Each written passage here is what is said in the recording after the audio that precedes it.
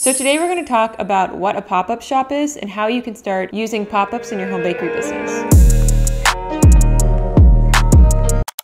So a pop-up shop is not like a farmer's market where you can Google farmer's markets in my area. This is something where most of the time you need to meet with a shop owner and plan together. It's not like a pre-existing thing that you can just go to and sign up for. Usually, some shops in bigger cities have pop ups regularly where they go and find vendors and bring them in. But most places, smaller towns, they don't even know what pop ups are. So you have to go and you have to plan it with the owner and make like your own event for the pop up. And when you talk about it with them, you want to talk about it from their perspective and how it would benefit them. Not from, hey, can I do a pop up in your shop? It would really help my business grow. But hey, can I do a pop up in your shop? I think a lot of your customers would really like the product I have. And I think a lot of the customers that will come in for my baked goods would really like your products.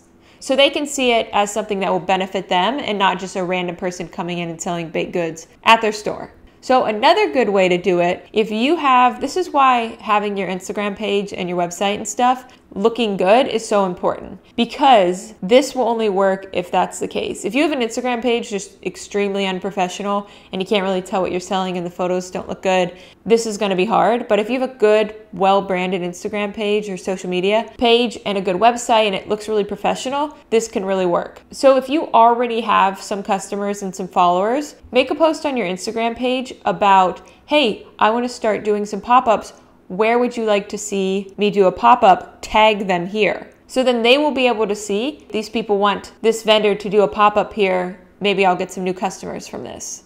This is another good one if you've already done some pop ups or you've done some farmers markets.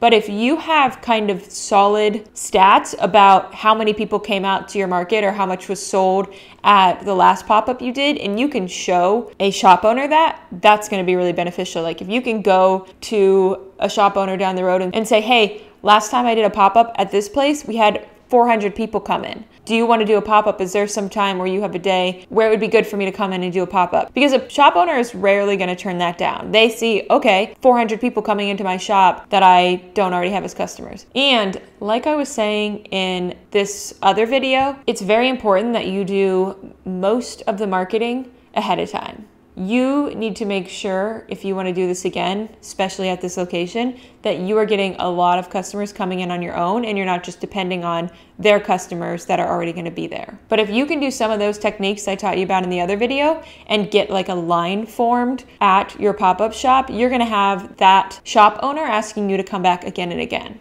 And this is really good, like I mentioned in this video, to schedule a regular place that your customers can find you. So if you're not doing farmers markets or something like that, if you do a pop up once a week or once a month at one specific location, that can be really good for you and your customers so they know where you are every month. Eventually, you can find other vendors that complement your baked goods or whatever you're selling, and you guys can sell at the same place at the same pop up so maybe you do a pop up every month at this one location, and you and two or three other vendors are also in that location selling. So it's like a big thing every month. That's going to bring a ton of people for all of you.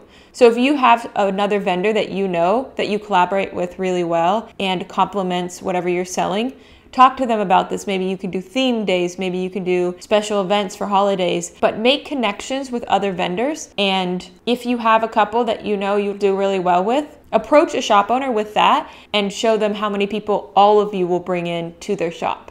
So if this sounds overwhelming, if you think I need so much help with this, go to the link in the description. I have a program called the Home Bakery Blueprint where you work with me for 12 months to grow your home bakery business. Okay, love you, bye.